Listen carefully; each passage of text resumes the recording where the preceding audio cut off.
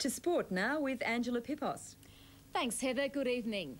A sense of occasion will be a motivating factor for both teams in the second test, starting tomorrow in Sydney.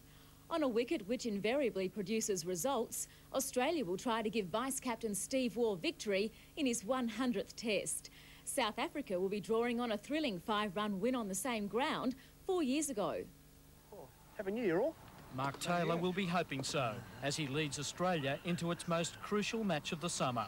On a pitch tinged with green, but mainly straw-coloured and certain to turn, the captains have nominated where the selection priorities lie. It'd be nice to play three, three quicks and two spinners, but obviously we can't do that.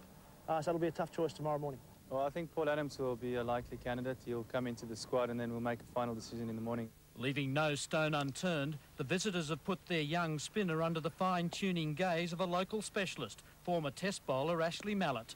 But while respecting the SCG's spinning reputation, Hansie Cronje also recalls the other factors which gave South Africa a sensational victory defending just 117 at the same venue. I think that was due to some, some fine bowling and some fine fielding by the South Africans and I think that's going to be the key again, yeah.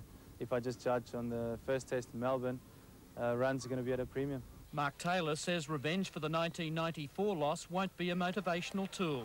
But something the Australians can use is Steve Waugh's milestone, joining Allan Border and David Boon as the only Australians to have played 100 tests. I suppose that is good luck to play it at your home ground in front of you know, all the people, at uh, your family and your friends. I think it's, it's great, tremendous. Steve Waugh is adamant the visitors have exposed their weakness by claiming the draw in the first test was more a boost for morale than a moral victory. To say that means that they didn't really expect to draw it, so uh, I think we can take some uh, something positive out of that in, in, in that uh, South Africa a little bit scared of playing Shane Warne on the last day. With storms and showers forecast for Sydney over the next couple of days, only the weather could spoil what should be a fascinating test match. John Bell, ABC News, Sydney.